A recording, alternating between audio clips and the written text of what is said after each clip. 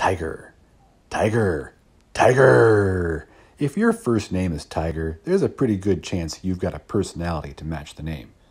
Tiger Woods. Perhaps one of the greatest golfers to ever play the game, but has some personal problems. And who can forget the Tiger King, the Netflix documentary series that got us all through the first wave of the pandemic? And Tiger Williams, Canadian NHL player who retired in 1988 and still to this day holds the career record for the most penalty minutes. And if you're from around the Goderich area, you have probably heard of Tiger Dunlop, a man who surveyed the tract that is now Highway 8 from Guelph to Goderich, alongside John Galt. And I think he must have been a pretty charismatic dude to make such a lasting impression on history. Imagine with me for a moment a man standing at six foot three with flaming red hair and always cracking jokes. One day, while traveling through the brush of southern Ontario with a logging chain wrapped around his shoulders, he happens to stumble upon an old friend, an old buddy from Scotland. And they laughed and joked around, but when they parted ways, Tiger said to tell their friends back home in Scotland that he had been found in chains, but well and happy. Between his own books and what others wrote about him, especially in the Dictionary of Canadian Biography, I think someone could probably create another Netflix documentary series based around Tiger Dunlop. So, if you're new here, I should probably explain myself.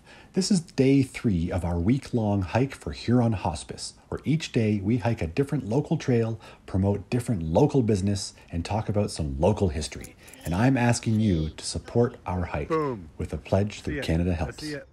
Yeah, buddy. And the land that we now call Huron County was once the home of the Attawandaron, the Huron, the Chippewa, and the Ojibwe people. And it's important to acknowledge that. Today, we are starting our hike on the Menesetung Bridge, which is the very end of the G2G Trail, the Goderich to Guelph Rail Trail. We'll talk about the G to G trail in a couple days, but this section of the trail is maintained by the Maitland Trail Association. And this is the Menesetung Bridge, once for trains, but now for pedestrians, thanks to an upswell of community support that saved it from demolition. Just another example of the kind of project that our community is capable of building if we all come together around a cause. And the Maitland Trail Association has created this book with maps and details about their network of trails. And fueling our journey today was some cream puffs from Culbert's, a bakery so rich in history that the name is almost synonymous with Goderich. Founded in 1877, they are still making their world renowned cream puffs to this day. After the kids were all fueled up, we headed on the Sifto Loop of the trail, so named for the Sifto salt mine, which is the largest salt mine in the world. And if you keep hiking up the Menesetung Trail, up the gradual slope, you will come to a lookout point and look back on the town of Goderich.